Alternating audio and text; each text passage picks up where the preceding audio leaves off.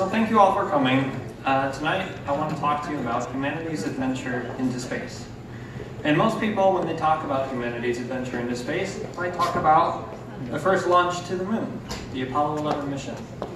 Or perhaps they'll talk about the beginning of the space race in 1957 with the launch of Sputnik 1 by the Soviet Union. Maybe, if they're feeling ambitious, they'll talk about the development of the V-2 rocket in the Second World War by Nazi Germany. But I want to take us a little bit further back, by I mean centuries, to Isaac Newton, when he first published his Three Laws of Motion in 1687. I love these pictures. So these laws of motion are important for uh, rocketry in general because these laws of motion are what are used to calculate the trajectories of rockets as they, as they move around massive bodies. And in 1813, a British mathematician, William Moore, derived for the first time the rocket equation, which we do uh, use for rockets, surprisingly. And not much is known about him because he was a British mathematician and a lot of historical records were destroyed by the bombings of Nazi Germany in the Second World War.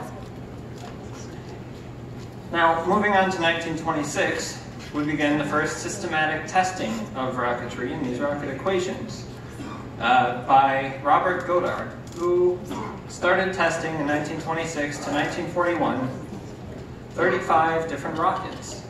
In 1937, he reached his maximum altitude of the test rocket. These were liquid-fueled rockets, and his maximum altitude was around 9,000 feet. In terms of rocketry, that's really not all that impressive. But this is the first time. And this is a good step. This is a necessary step. Meanwhile, in Germany, in 1929, we had, uh, I forget his name, uh, Hermann Oberth, who, uh, with several experimental students, experimentalist students, there's an important difference, uh, among whom was Wernher von Braun, who would become a leading figure in the development of rocketry.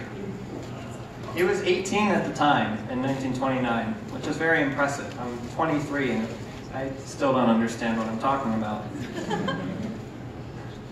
in 1933, uh, Wernher von Braun was employed by the military of Nazi Germany in order to start developing the aggregate series of rockets. They constructed the A1, 2, 3, 4, and 5 rockets.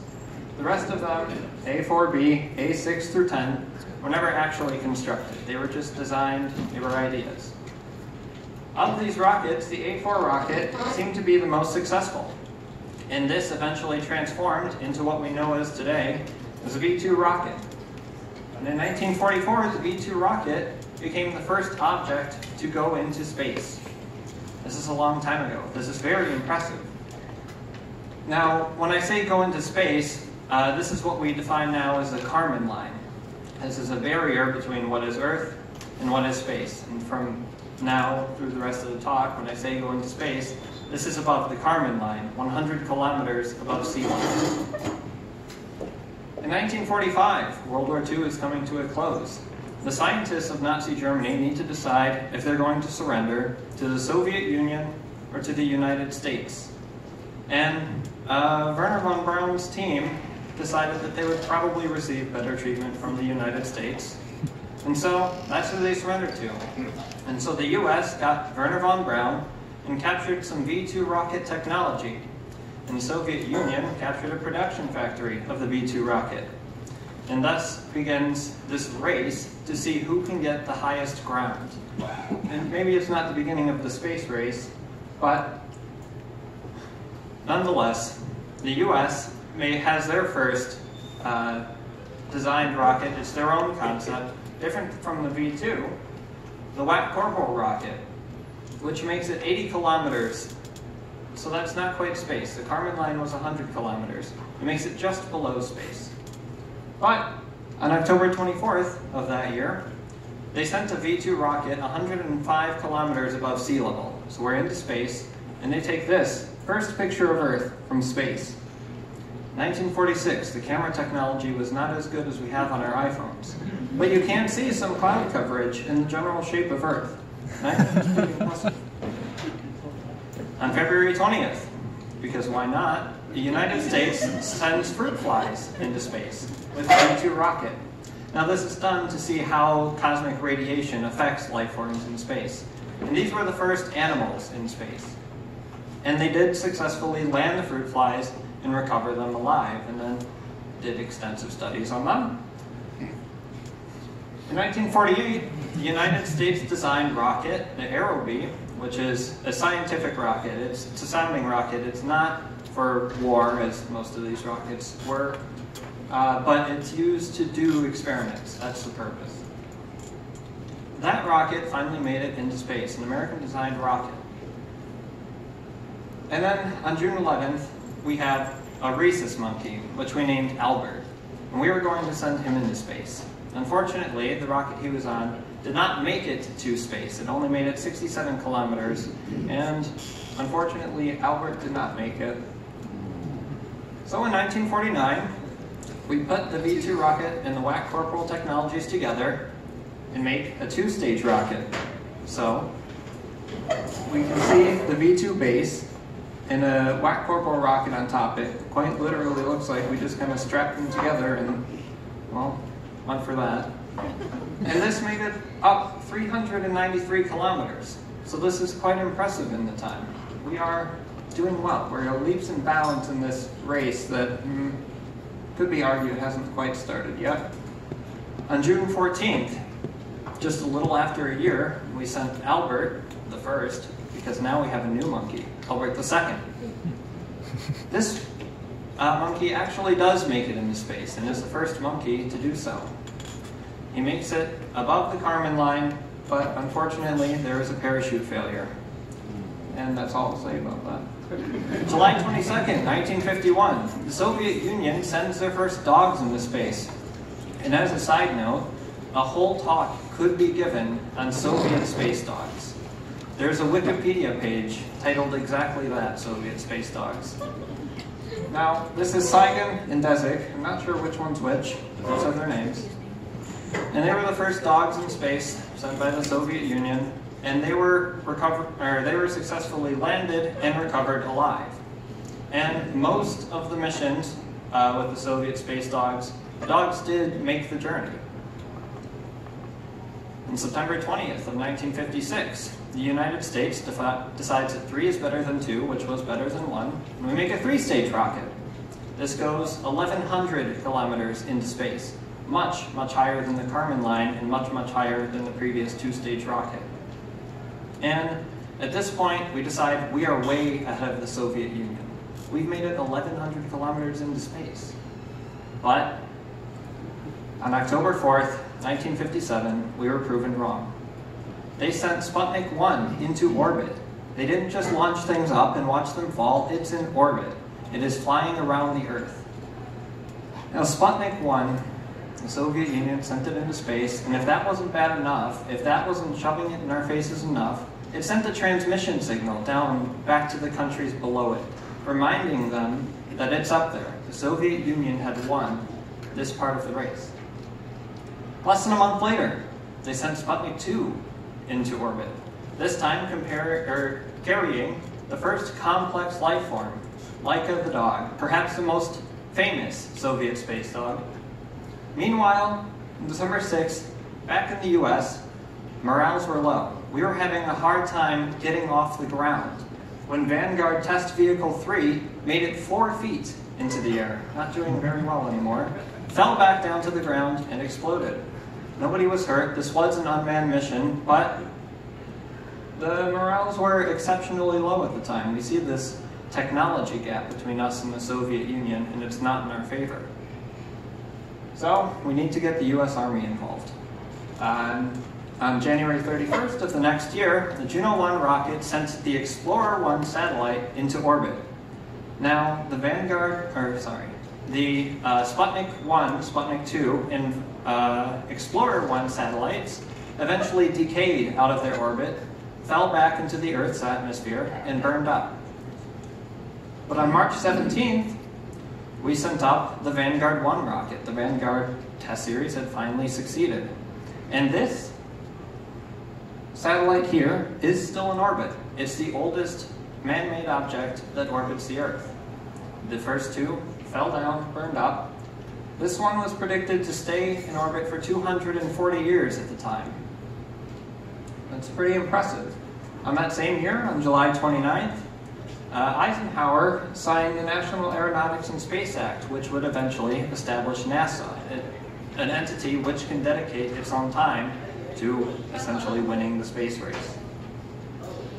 On August 7th, the US was ahead, so they sent Explorer 6 into orbit, took another picture of Earth, because that's what we like to do. September 13th, uh, the Soviet Union sends Luna 2 and crash lands into the, onto the moon, because they need to be higher than us. 1961 was a year for sending humans into space. The Soviet Union led the way with Yuri Gagarin, and he was the first human into space. But less than a month later, the uh, United States sent Alan Shepard into space, and he was the first human piloted mission into space. He controlled his own spacecraft once passing the Kármán line. 1962, the United States caught up. They crashed their own device into the moon. This time they chose to crash it into the far side of the moon. This is the Ranger 4. And JFK, in an attempt well, a very successful attempt to raise the morale of the United States, gave us a promise in a speech he gave at Rice University in Texas. We choose to go to the moon in this decade and do the other things, not because they are easy, but because they are hard. Because that goal will serve to organize and measure the best of our energies and skills. Because that challenge is one that we're willing to accept one we are unwilling to postpone, and one we intend to win, and the others too. Very inspirational. So, in 1966, on February 3rd, uh, NASA sent Luna 9 onto the moon to make its first soft landing. They didn't just plow into it. They landed nice and soft uh, for something humans could survive, because that's after all the goal. The US, on the other hand, sent a probe around the moon. This was the Lunar Explorer 1. It orbited the moon and mapped its surface in order to find a nice flat spot for eventually us to land humans. On December 21st, 1968, the Apollo 8 mission launched these three astronauts, whose names I can't remember, with the Saturn V rocket to orbit the moon. They weren't ready to land quite yet. And on that year, the evening of Christmas Eve, they sent a live television broadcast of the Earth rising over the moon as they orbited around it. This was a very inspiring time for the US. And so, JFK got to keep his promise. On July 20th of 1969, Apollo 11 had landed two men on the moon, Buzz Aldrin and Neil Armstrong. This is a good leap forward. And they took many pictures I really like this one though, because uh, I think this is Buzz Aldrin who's posing, but he had him pose in such a way that the visor would reflect Neil Armstrong with the camera. You know what this means? It's the first selfie on the moon. and so, the space race was over. We had won. Since then, we sent 12 astronauts to the moon on future, future Apollo missions. So what's next? Well, we want to explore further planets. We want to explore the outer planets, the gas giants. And humans are expensive to send into space. They need food and water and all that stuff. So we need to do an unmanned mission. In the 70s was a perfect time because the planets would align so that we can use this idea of gravity assist to use less fuel as we travel into those outer planets. So in 1972, the Voyager missions were approved and then, five years later, in the summer of 77, they were launched. Now, they were launched with the intended purpose to just get to Saturn. That's all they had the budget for. So, two years after their launch, they finally make their way to the first outer planet, Jupiter. And Voyager 1 takes this picture. You can see two of the Galilean moons. You see Io and Europa, and this is the first time we had gotten close enough to these moons to see that they are not just cold, dead bodies like our own moon. They have eruptions. and they have uh, various activity that show they are very much alive and further inspired future missions to go and study these moons further. Two years later, in 1981, Voyager 2 took this photo of Saturn. As it did its flybys around many of its moons, this one Enceladus, and you may have heard a lot about it, about it with liquid oceans and yeah, well, it did a flyby of Saturn too, and we see that the rings of Saturn is not just one solid ring, but they come in these layers. And these are really cool discoveries that Voyager missions are making. And so, since the technology is still going strong, and, well, these discoveries are just so darn cool, we're going to keep going. We're going to go to Uranus, but it takes a few more years, five years to get there. Uh, at this point, Voyager 1 had actually traveled up and out of the plane of the solar system. Voyager 2 continued through the gas giants to Uranus, made it there, or, yes, Uranus, and made it there five years later, and took this picture, and traveled to the last guy, gas giant, Neptune. Now, at this point, Voyager 1, which was traveling up above the plane of the solar system, took this picture upon the request of a famous astronomer, maybe you've heard of him, Carl Sagan.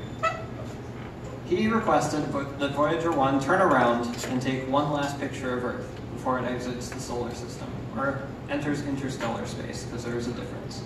And I want to read, hopefully I'll be able to, it's kind of dark. Just a short paragraph of what he said I think a lot of people have heard parts of this. He said, we succeeded in taking that picture. If you look at it, you see it. That you see a dot, this pale blue dot.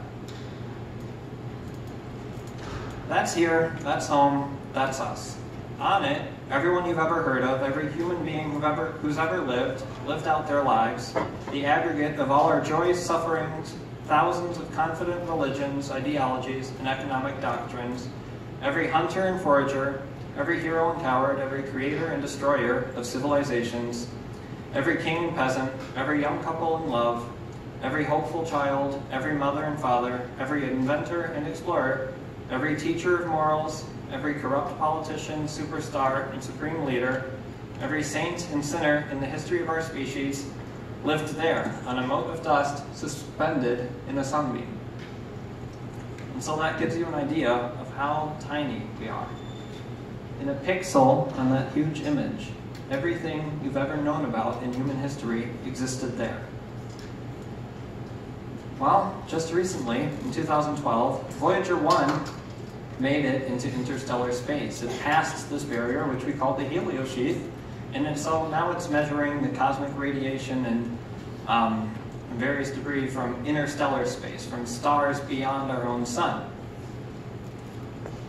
And now, oops, sorry, before that, Voyager 2 also recently also made it into interstellar space. In fact, that happened, they believe, on November 5th of this year.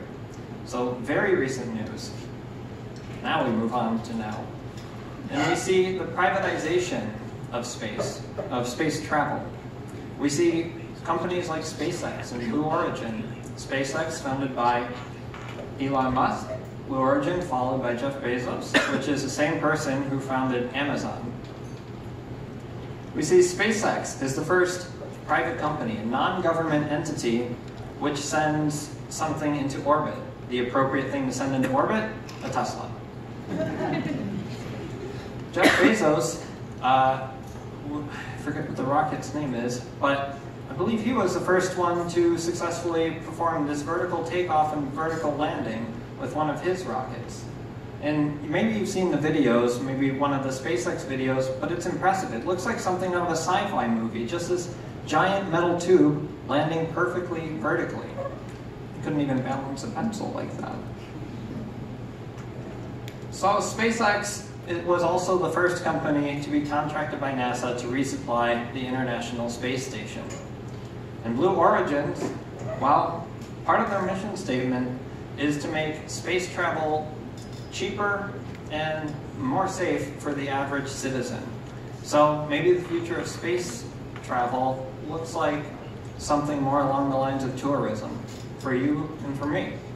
Something the average citizen maybe won't be able to afford, but has a chance to go out and try. And so, I really do believe that the privatization, I don't want to get into the debate of whether or not it's good for society, because there's a whole background debate there. But I do believe that through the privatization, through this competition, technology really evolves. And we see that with this vertical takeoff and vertical landing, for instance. And perhaps with more global effort too, humankind can make many more giant leaps into space. Thank you.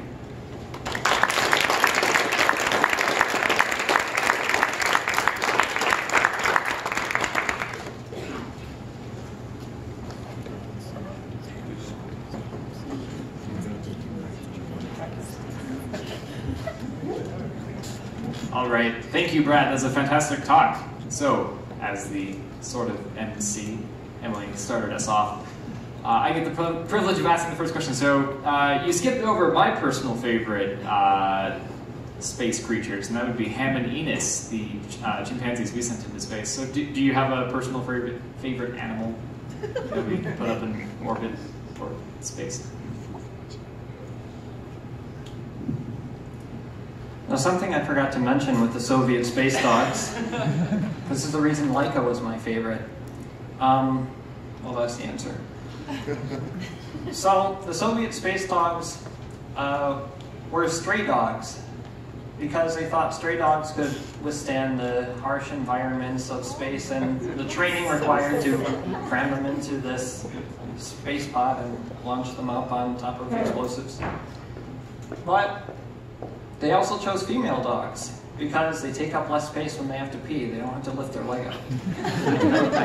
and Laika was also chosen because she would be good for media coverage. Because, let me see if I can get back to the picture. They say, and I quote, whoops, they chose Laika because she had a very quizzical expression. So Laika. okay, so we open up to you guys. Um, when, you know, we know from watching our own satellites and, and, and uh, rockets come back that as they enter the atmosphere, of course, there's a huge heat and, you know, we require massive shields. What, if any, effect does it have when you're heading out? And, for example, moving into interstellar space? Is there any kind of barrier that affects communications, that affects all right, so the question is, we see upon re-entry into the atmosphere, um, we need heat shields in order to protect ourselves from, well, the heat, you guessed it.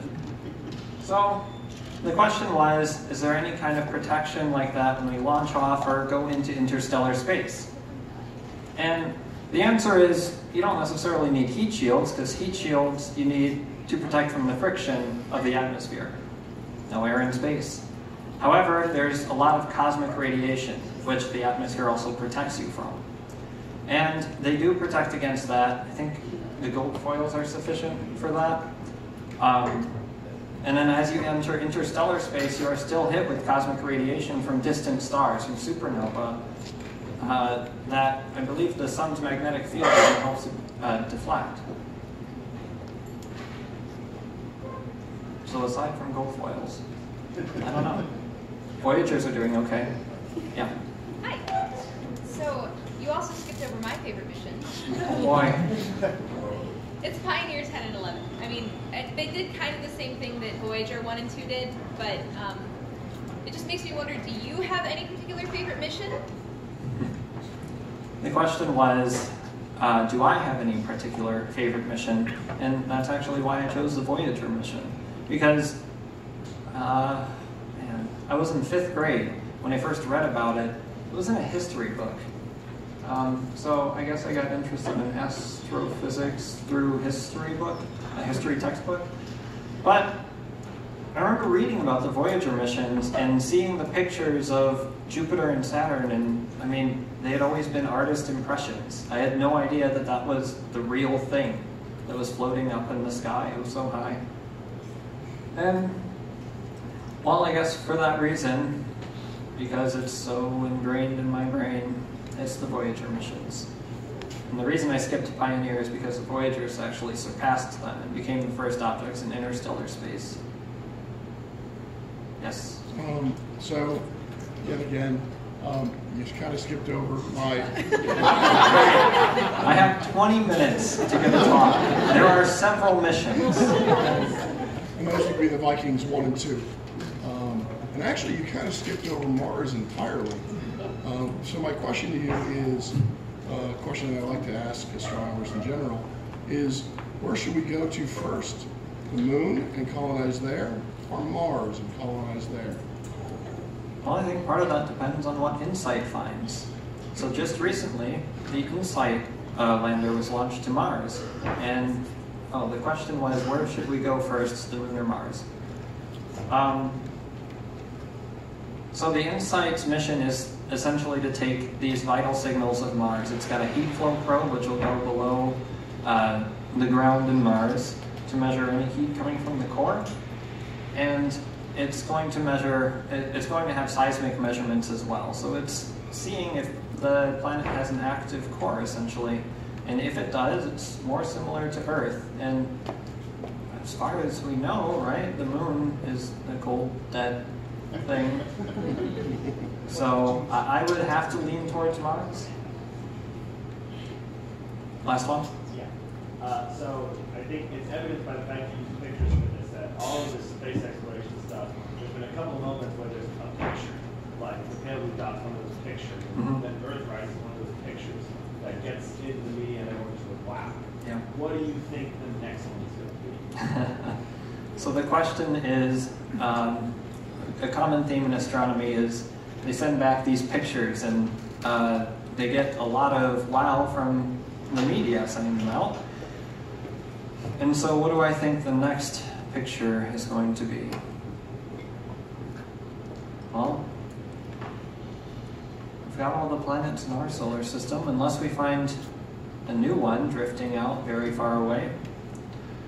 I think this wouldn't be in our lifetime, but what if we had a close-up picture of a nearby star, Alpha Centauri?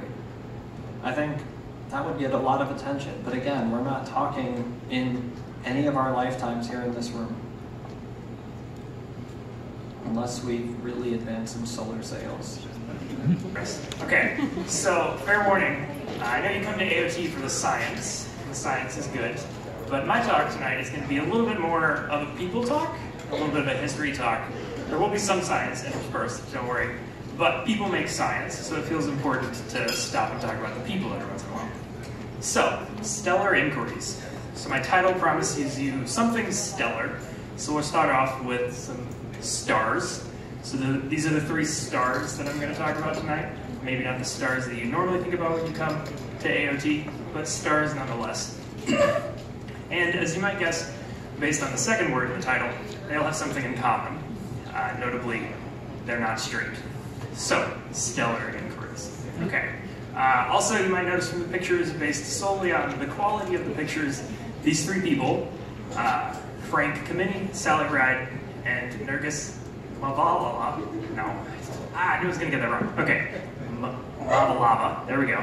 Uh, so based on the pictures, the quality of the pictures, you might also guess that all three of these people maybe didn't exist in the same time period. They didn't quite exist in the same environments. Um, and as a result, that has some interesting effects on their careers. All three of them are PhD holders in physics or astronomy. Um, and we'll see as we go through the talk exactly what that did to their lives and to their careers. Okay, so starting from the beginning, got Frank. So Frank was born in 1925. Um, as might be expected, based on that time period, he did get drafted and go to World War II. Um, upon returning from World War II, he went back to college. First to Queens College in New York, uh, and then later to uh, Harvard for his master's and PhD, earning his PhD at Harvard uh, in specifically astronomy. in 1956. Uh, shortly after graduating, he moved to Washington, D.C. and started teaching at Georgetown University. He taught there for about a year and then decided maybe that wasn't quite what he wanted to do with his life. and he was recruited by the U.S. Army Map Service in 1957, specifically, I know, July of 1957. So he started working with the U.S. Army's Map Service. He did serve with the Army in World War II, so it wasn't a big stretch. He already had some connections. uh, however, that didn't last very long. Uh, in fact, by December of that same year, he had been fired. Uh, and so at this time, uh, this was sort of a systematic thing, if you go back and look at the history books. Um, but at this time, uh, specifically after 1953, there was an executive order that was written as broadly as to allow uh, the federal government to fire um, any civil servants, any federal employees, specifically because they were suspected to be gay or lesbian or anything not straight. Um, and so that was that was the case. Frank had been approached um, by some some officers, and they had told him that they had suspicions that he was gay. Uh, could he confirm or deny? Uh, he chose not to respond. Actually, he didn't confirm or deny. But that was that was enough. That was grounds enough to fire him. So they did. And unfortunately, at this time, as we might have learned from Brad's talk, this was a pretty hot time for space and for astronomy. Right, Sputnik was launched in October of 1957. Um, and then in mid-1958, NASA was, was founded. So there were lots of jobs to be had in astronomy, specifically federally funded jobs in astronomy. Um, however, Frank was no longer eligible for them because on every job application that you file, um, it's going to ask about your previous employment and if you've been fired for any reason, and he would have to admit that on every application. So he did. He did interview. Um, he did go to places to try to get jobs. He was turned down every time. And so as a result of that, he decided to try to do something about it. Um, first appealing his termination to the district court in DC, uh, and then further up to the appeals court in DC, and eventually in 1961 he petitioned the Supreme Court to hear his case of wrongful termination in January of 1961. Uh, in March they declined to hear it, and that was the end. That was, that was it. There was no more astronomy to be had for the rest of Frank's life. Uh, he did notably go on to do lots of other things um, with his life. This sort of fueled a lot of passion for him. He became an activist. And so later in 1961, he co-founded the Madison Society of Washington, D.C. So the Madison, the Mattachine, the Mattachine Society, um, and a bunch of other groups. Uh, there were starting to be groups uh, specifically advocating for gay and lesbian rights around this time. There were a couple other chapters of Madison societies. Um, there were some other ones, such as the Daughters of Bilitis, that were also advocating for rights, for equal rights. Um, so Frank co-founded the DC chapter of that, and they advocated, um, notably in April of 1965, they picketed the White House specifically for federal treatment of gays and lesbians. This is noted quite possibly as one of the first uh, official protests to be specifically about gay and lesbian rights. Uh, You'll note, if you know anything about gay history, um, 1965 is before 1969, which is when the famed Stonewall riots happened. So this was before that. Um, this was before any of that really started to happen. Um, and then also notably in 1973, uh, Frank is generally given credit for this um, in convincing the American Psychiatric Association to declassify homosexuality as a mental disorder. And so he had lobbied for that for a long time. He testified uh, and a bunch of other stuff. Um, and eventually they did. They, they took a vote. They decided it was no longer a mental disorder. And Frank actually quipped later that with the stroke of a pen, they had en masse cured all of them of their mental illnesses. uh, so that was that. Um, again, he never did any more astronomy. Um, however, he did live long enough uh, in 2009 to be uh, officially, formally apologized to by the federal government for his termination in 1957. Um, uh, so that happened in 2009. He did unfortunately die uh, two years later in 2011, uh, somewhat ironically on National Coming Out Day. Um, so that's weird. Uh, he died of heart failure. Um, and unfortunately, since he did die in 2011, he didn't quite live long enough to be honored by the American Astronomical Society for his contributions to equal rights um, for gays and lesbians. However, they did at their winter meeting approximately four months after his death, honor him for that. Okay, so that was Frank. Uh, we'll move forward to Sally Ride, who maybe sounds familiar to you. She's a little bit more of a household name than either of the other two people that I'm going to talk about or have talked about. So Sally Ride was born in 1951. Um, she went on, she went to college. Um, she went to Stanford, earning her bachelor's in both physics and English, a point that I mentioned for a later reason that will become obvious. Um, she stayed at Stanford for her master's and PhD, earning her PhD in physics in 1978. Immediately after graduating, she signed up for the astronaut training program. Uh, she succeeded well. She did well there. Um, and in 1983, became the first U.S. woman in space. Two Russian women did beat her uh, to space, but she was the first U.S. woman, woman and uh, also the youngest U.S. person ever to make it to space at the age of 32. Uh, she did have a second mission to space the following year. Um, however, that was it. She didn't go any further on any further missions to space, in part because in 1986 the Challenger disaster happened, uh, and that halted the space shuttle program for approximately three years while they investigated. Sally did notably serve on both the Challenger Committee that was charged with investigating the accident, as well as the Columbia mission. She served on the committee investigating that one as well. Uh, she was the only person to serve on both committees. Uh, so in 1987, she retired from NASA, uh, went to UC San Diego, uh, became a professor of physics. That's what her training was in, after all. Uh, and she taught at UC San Diego for a long time.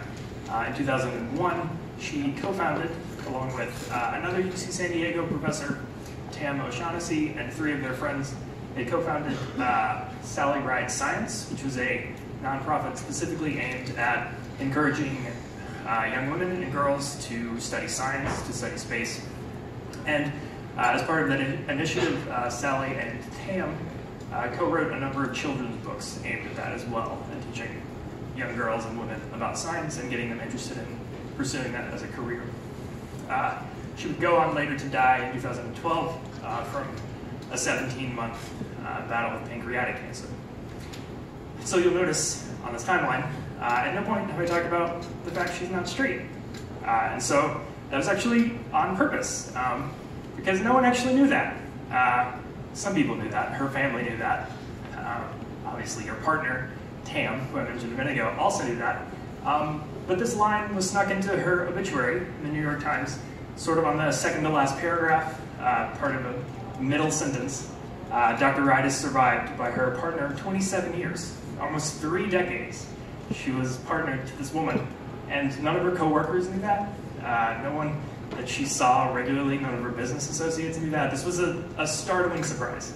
Um, so some of the headlines that ran the obituary were sort of innocuous. The New York Times one was. Uh, some of the other ones weren't. There were there was obvious surprise. People were very caught off guard by this. Um, and so in later uh, years, Tam opened up a little bit and discussed some of this um, in later interviews, uh, noting why Sally hadn't decided to come out publicly. Uh, and so in one particular instance, she said that Sally didn't want to hurt NASA by coming out. Um, in another instance, uh, they, she talked about the fact that they started this nonprofit for science education. Um, she said that the company had depended on corporate sponsorships, they were afraid back then that if they came out publicly, that would affect their eventual goal of helping young women and girls uh, study science. They were afraid they wouldn't get the support that they needed. Uh, so that's unfortunate, right? Unlike our first case where uh, Frank was sort of out, but he was in a hostile environment. He was outed in a hostile environment. Sally wasn't necessarily outed. She was outed after her death. Um, this was with her permission that Tam had done this. That put it, she'd put it in her obituary, but sort of passively, the environment had sort of prevented her from coming out during her life. Okay, so now I'll end with our third example, our third star this evening, uh, and that's Dr. Nergis Mavalava. Mavalava? Mavalava? I'll get it right. I'm sorry. Um, so she was born in 1968 in Pakistan, actually. She immigrated to the US, um, earning her PhD in physics from MIT in 1997. Uh, her PhD advisor was Rainer Weiss, who you can see pictured here in the middle. You may recognize that name as uh, a recent winner of a Nobel Prize uh, for gravitational waves in particular. In fact, some of her uh, design work, I believe, and her thesis was incorporated into LIGO. when they were building it. Um, after earning her PhD, she had a postdoc and a research position at Caltech, uh, and up until up until 2002. In 2002, she moved back to, to MIT and joined the faculty there. Uh, in 2010, she was awarded uh, MacArthur Fellow. She was named a MacArthur Fellow, which um, is a pretty prestigious award, uh, though, let's see, it's effectively just half a million dollars that they give you. You can do pretty much anything you want with. It's awarded for creativity and innovation.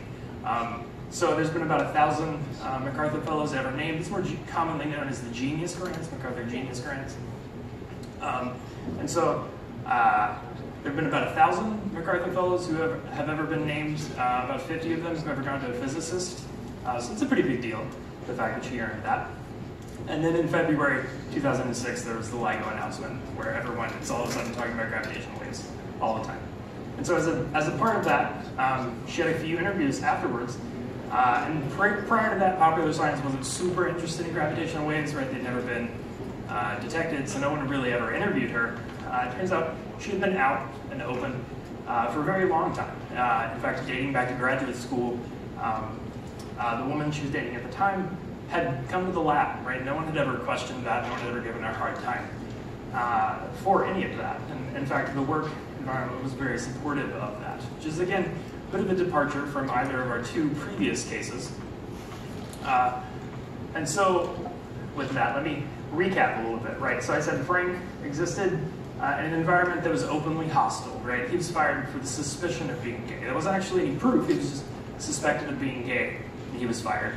He had no more astronomical career. Um, Sally uh, didn't come out until after her death, so it's more of a passive environment in that case, perhaps. Um, but again, she wasn't she wasn't quite out in her lifetime. Uh, and Nergis, uh, in contrast, has been out for most of her graduate career uh, and continues to be out today. Obviously, she has a family, she has a wife and kids. And so you might look at this and think, sort of, right, we're scientists, we're going to hypothesize a bit. Um, you might think that, oh, right, so time has gone on, the environment has improved a bit, right? That's sort of the trend that I'm presenting here. Environment's gotten a little better from here to here, from like hostile to passive to, to accepting.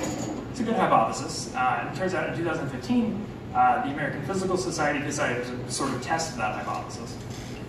And they commissioned a committee who made a report, uh, gathered a whole bunch of data. This wasn't actually a very well-studied phenomenon, uh, people being out in STEM.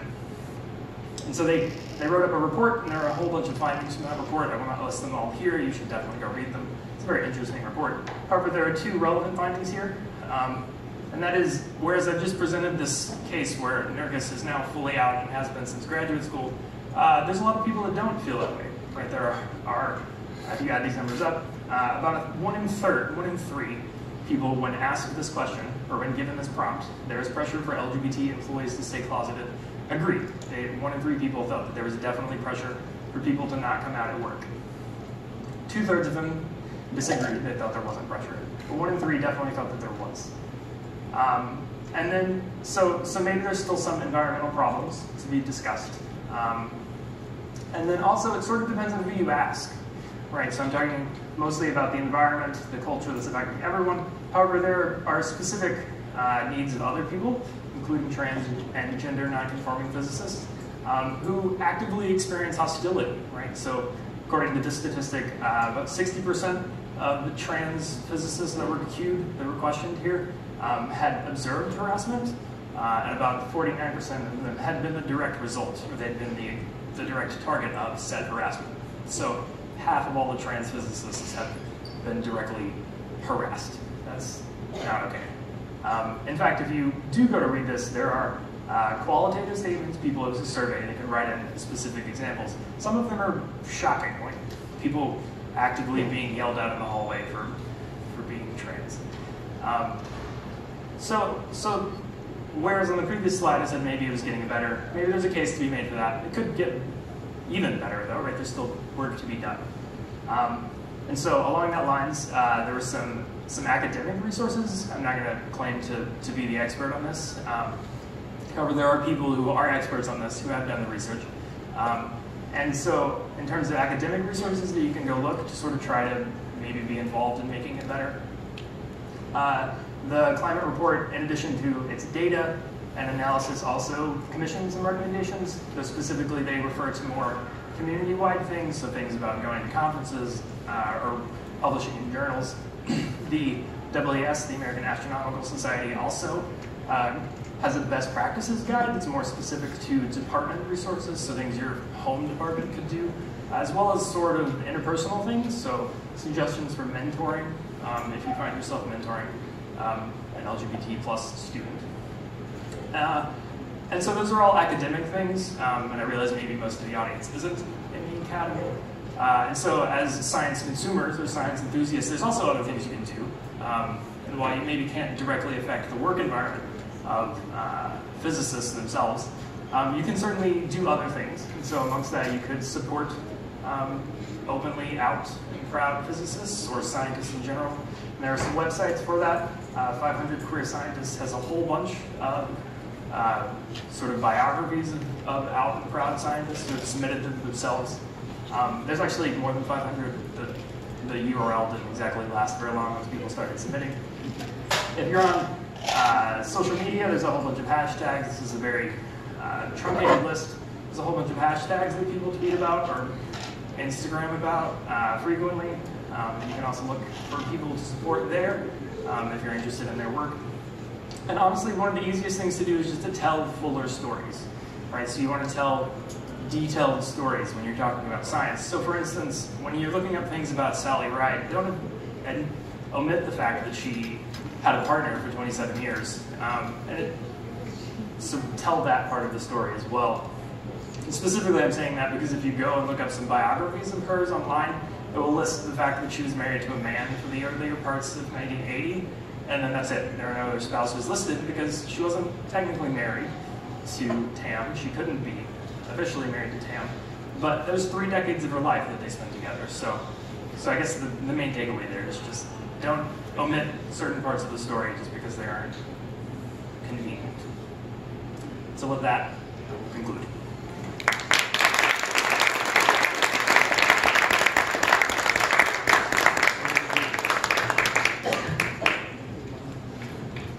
Alrighty, thank you, Robert.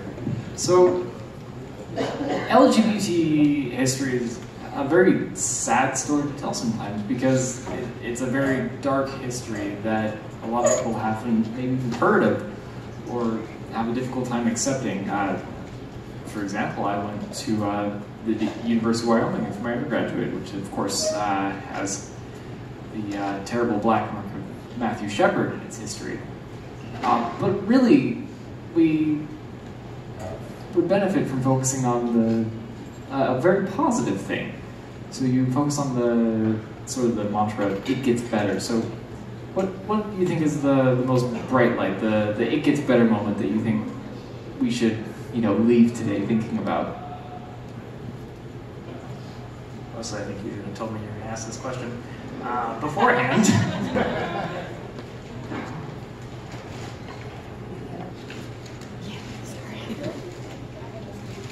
yeah, I don't know. I don't um, know. I have no specific examples for that. Sorry. We're all gonna go home crying. okay, questions? Don't worry, I'm really good at answering questions. Oh yeah, sorry. Uh, so in the two reports that you listed, there was one that was like more general, you said meetings, and one that was more for departments and interpersonal things. Can you list like one bullet point from either of those that you felt was like, yes, it's very easy for somebody to do immediately right now that would significantly improve the experiences of uh, some class of person that is struggling?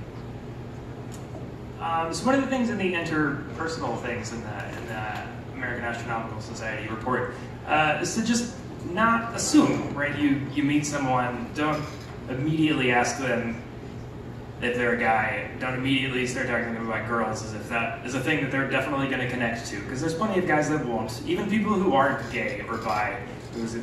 Um, there are plenty of people who won't connect to that. There are other ways to make connections that don't involve that in particular. Um, so yeah, so just open or be open in your interactions so that such that you can find out more about that person without starting off at a, a spot that they're going to have to somehow weasel their right, way out of, or, it, yeah. Why Yes. did you pick these three physicists? Okay, so the question, I forgot to repeat Ali's question, I'm sorry. Um, the question was, uh, why did I pick these three physicists? Um, okay, so the short answer to that is Google. uh, the longer answer to that is that I've actually met Nergis before. She's a fantastic woman. She has connections to LSU. In fact, um, one of her former students is a faculty at the, in, the Department of Physics and Astronomy. Um, the other two, yeah, I don't know. I remember being surprised learning that Sally Ride um, wasn't straight. Um, I actually remember, I think, reading about that at the time being like, oh, that's interesting. Um, so when I started looking her up again, that, that sort of popped back up, and I was like, yeah, I'm definitely going to talk about this. Uh, yeah, I don't have any specific reason for picking Frank. Um, he's just a, a really old example, like he- the 50s, right? This was, um, yeah, I don't know. So it was before Stonewall, so, and he was doing things.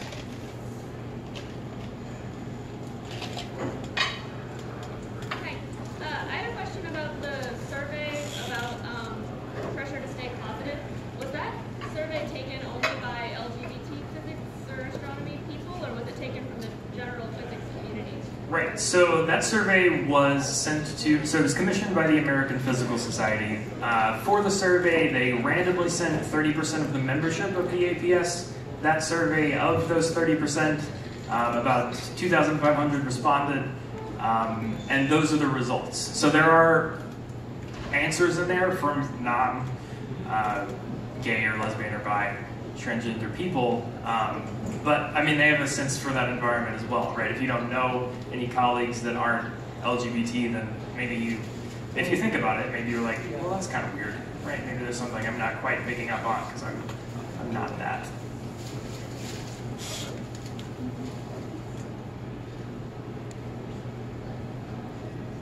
Oh, yes.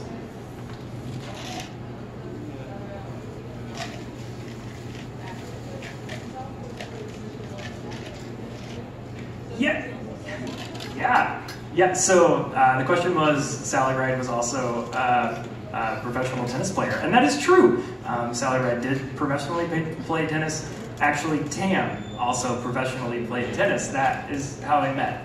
Um, they were childhood friends um, who had both grown up in those circles. And, and that is, yeah, that's that.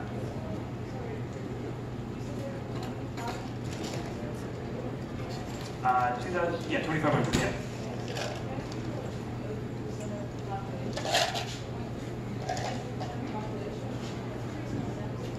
Um, it was. Uh, not going to disagree with you there. Um, so the question was, uh, 2,500 people responded to the APS survey. Trans people are 0.3% of the population. Um, what's the overlap there? Um, if I remember correctly, uh, of the 2,500 respondents that the APS had, uh, 2.5% of that number, whatever that number is, um, were not straight or not cis. Um, and I don't recall what number of those were specifically not cisgender. Um, I do know it was noted. It was noted a couple times in the report itself. If you read it, uh, it makes a point of saying that 2.5% of the overall people that responded were not straight or cis. Um, however, of the category of 18 to 25, 16% were not straight or cis. Yeah. Uh, so your talk could maybe have used a glossary. So I'm, I'm sure we're all familiar with the terms lesbian and, and gay and bisexual, but could you please explain to us cisgendered? Yeah, so cisgender just means that you your sex assigned at birth is the same as the gender that you currently have. Uh, trans is the reverse of that. The sex you were assigned at birth does not agree with the gender identity that you currently have. And can you explain gender? Okay, I'm gonna need like the next five AOT talks. All right, we'll pencil you in. Come back from January through May, AOT will become gender on tap. Yeah, that's the other question. I was, I was gonna say, you should talk about Alan Turing. Uh, he answered a whole field that makes computational astrophysics possible today. Yeah, that's true. So the, the comment was Alan Turing. Um, I specifically didn't pick him because I sort of felt like everyone maybe knows about Alan Turing. Um, I could be wrong. I did give this practice talk earlier. It was like, maybe half the things I said aren't general knowledge. Who knows? Um, but anyway, uh, yeah, Alan Turing um, is effectively the founder of computer science. Um, he helped win World War II as well, uh, specifically for his contributions. Um, the British government, he was a British citizen, the British government did not allow homosexuality at the time. Uh, not that the US was super great either, as we saw from Frank. Um, and he, yeah, he later committed suicide because of that. We went on a very dark note there, though. So, anyone's got a lighter question?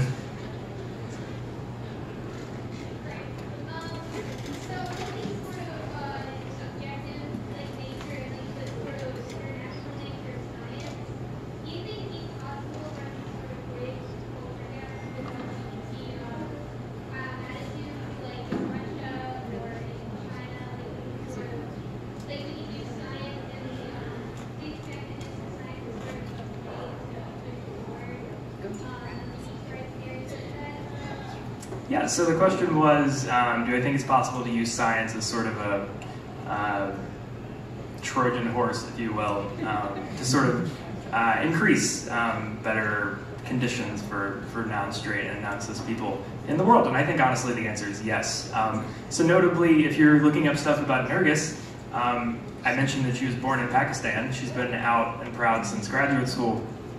Um, Pakistan is maybe not the best place in the world for people who are a lesbian.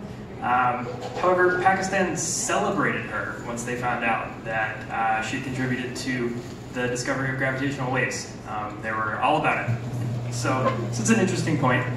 Uh, and additionally, so also on those lines, but on a more practical term, uh, there's also, right, so international collaborations, such as the Large Hadron Collider in Switzerland, um, bring together a whole bunch of scientists from a bunch of different places. And so when they all have to get together and exist, they have to sort of agree on a code of conduct. And so that's another way, maybe once you've worked at the lab for a long time, you go back and you, you learn to treat people a different way, and that sort of carries over into wherever you came from.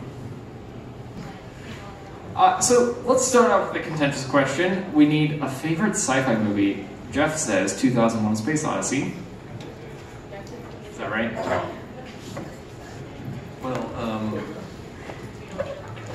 1968 was exactly 50 years ago. Um, I was uh, 14, and I, uh, it was a very big year. Uh, 2001: A Space Odyssey came out, and uh, as as Brad was saying, Apollo 8 uh, went around the moon at Christmas time, so almost exactly 50 years ago. Um, by the way, that was Jim Lovell, Frank Borman, William Anders. Um, the um, anyway, uh, I went to see uh, 2001: A Space Odyssey eight times in the theater uh, when it came out. It was an extremely big thing for me. I'm still bitter about the fact that I cannot go up to the space station and eat at Howard Johnson's, um, but there's still time. And I have my uh, official Hallmark HAL ornament on the top of my tree. So, well, if you push the button, it talks. Yes, it glows. The eye glows. Yes. All right, let's move on. Any questions from the studio audience? Yes. What are the rest of y'all's favorite sci-fi movies? Gosh, Jeff. Yeah, not just So, what- what's everybody else's favorite sci-fi movie? You're gonna go with Stargate, the original Stargate movie. Is Yeah! that a good answer? yeah, I'm gonna go with that though. It's very old, but uh, yeah, it probably doesn't hold up well. But you should still go watch it. Can I say The Matrix? Yes, Super yes. mainstream, yeah. But wait, The Matrix isn't science fiction. Yes, it's it real.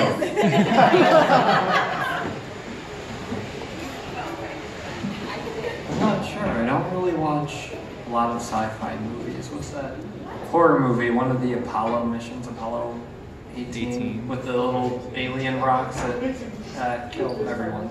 Um, I guess that one. Any other questions? Please. Okay, uh, so this kind of goes back to Robert's talk. Um, a lot of the people that I know who are in my department are queer. Um, and it seems to me like a larger proportion than in any other field of people that I've met. Do you Is this think? scientific? What was that? Yes. Continue. Do you think that there's a correlation between, um, like the, the STEM fields and the number of queer people in those fields? Uh, so speaking of scientific, um, so one of the reasons the APS commissioned that report is there's not a whole lot of data on this area. Um, one of the largest samples was sample data samples on this was specifically for STEM fields taken in 2014. Um, the APS published a report in 2015. Uh, so to answer your question, no one currently actually knows if uh, LGBTQ plus people are underrepresented in science or overrepresented or exactly right proportion to the population. Nobody knows. Nobody has gathered enough data to actually answer that question. What do you think, though? I thought we were doing science. this is an opinion. Uh, I don't know. I don't have any. That's, that's It's fair. actually right. Just perfect. Just perfect. You think we're on par? We're Well, I'm guessing that just generally, yes, Okay, everywhere, okay. the percentage is about the same. Who knows? We'll find out. I can tell you the people that are doing the study if you want to go look them up. Maybe they have preliminary answers that they would wish to share with you. They probably don't. But you have to factor in the out percentage as well. I mean, you also have to get really good information on like the number of out people in the general population too, which is very difficult to do. It's not a thing that is asked about regularly on general population surveys. Any other questions?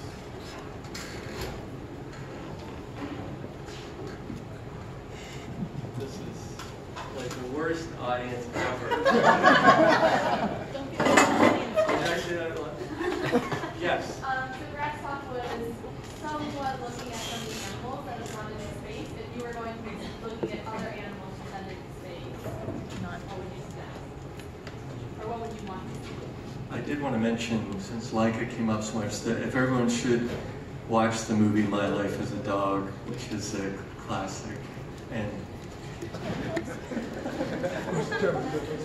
it's a it's a Scandinavian movie. It's about a um, it's about a kid who uh, is unhappy in her life, and she's always comparing it to Laika's life, and so that's why it's called My Life as a Dog. It might be on Netflix.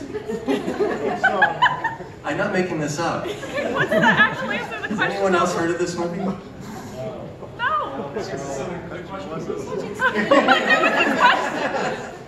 Okay, so I'm, I, I'm sorry. So we're now going to all say what animal, for instance, if we go to Mars, should we take some pets with us? Um, so, um, you ready, Brad? I want to bring a giraffe. Tyler, it's the same thing. But in order for you to bring the giraffe, you have to bring the human to Mars. Well, Right? We've already put a we human in space. populate Mars with giraffes. Animal cruelty. There's some work to be done first. If you want to bring live giraffes to Mars, We have to giraffe form them. Uh, no specific scientific reason, but I'm going to go with foxes. Foxes are, are, are great. Foxes are great. Very photogenic. They would look great. And They were blending with Mars. weightless or blending in with Mars, running around on the moon. They It'd be match. great. It'd be great. They have the same color. Um, I mean, dogs gotta do it. I'd send a cat up, just even the playing field. Pretty self-sufficient. They can do well in a rocket ship. just sleep the whole way. Like that's great. I don't know if this is true, but the last time I practiced this talk, we looked up if cats have been sent into space. And apparently, uh, among the space race, I don't know if this is true, but it said that France had sent cats, cats into space, but they were overlooked because we live in a dog-ruled world. So, it's unfortunate. So I'm gonna seize on the pet trend, and this is, this is just for you, this is just, just for you. So when people, when people go to Mars, if that's gonna happen, people always have pets, and they're gonna want pets. So if you have to tell them what pet they can bring, what do you tell them they can bring? Tardigrades. That's the That's a good answer, ever. yeah. Yes, but they'll probably live. That's also bad for Mars. You'll get fired as a gas administrator. Oh, probably. But for different reasons.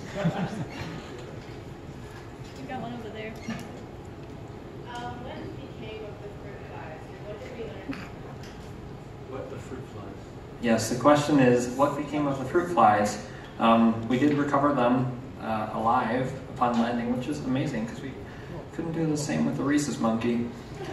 Um, they just did several experiments on them to see what the uh, post-flight effects of cosmic radiation were, and uh, the reason is because their genetic code is 75% analogous to that of the human. So a lot of the diseases that they can contract from the effects of cosmic radiation have some analogous disease to humans. Uh, I'm not exactly sure what specifically they found, uh, but they were alive when they found them. Any other questions? Uh, Space Princess? Thank you. So we all know cockroaches can survive anywhere. Don't put them on Mars. Well, that Stop was going to be my question. question. No, stop your question. Why? no, no. Okay. Do you think that cockroaches could survive on Mars? In the present day, Yeah. maybe we should try. No. Well, we could do an experiment in the lab. We could reproduce the conditions on Mars. Uh, it's possible that they, you know, I mean, you know, lots of things can live sort of in suspended animation for a long time. Uh, so I, I, I'm not sure that uh, there aren't already cockroaches on Mars uh, that snuck into some piece of equipment. Um, so. Anyone else have any uh, comments about cockroaches on Mars? Oh, Brad. If it is true that they can survive several minutes with their head chopped off, I don't doubt they will survive Mars. I mean, chickens can too. Yeah, put let the chickens on. It's better. Okay, so briefly, Okay, I do have one other question if we're Okay. going on. And that is, so we heard about what your favorite mission was, your, your extraterrestrial mission. But we actually, we haven't heard from Jeff and Robert and Rachel. Well, I just wanted to bring up because uh, New Horizons, because um, not only did it go past Pluto, but it's coming up on January 1st. It's going to be actually taking a picture of a whole new planet. Um, and it's actually going closer to this uh, Kuiper Belt object than it did to Pluto, so it's going to be quite cool. Even though it's it's relatively small, it's just a few few miles across, but uh, I predict it looks like a potato. Which one? Which What's planet, its? Jeff? Ultima Thule. Ooh, that's a good one. I don't remember the number, but that's the name they gave it. Uh, I'm not as well read on space missions. I'm gonna go with Cassini though, right? That was the one that went to Saturn, took a bunch of pictures, crashed into Saturn. Yeah, that's what I thought. I'm gonna go with that one because like, who gets to swan dive into the thing that you went to go study and then die? Who gets to do that? Um, I mean, same as Robert, I'm not particularly versed in space. But I'm just gonna say probably like Curiosity or any of the Mars rovers because they're doing the good work up there and I don't know they're still kicking and sing happy birthday to themselves on their birthday. And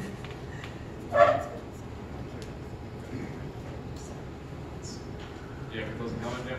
I was just going to ask for a moment's silence for opportunity. We're down to one rover.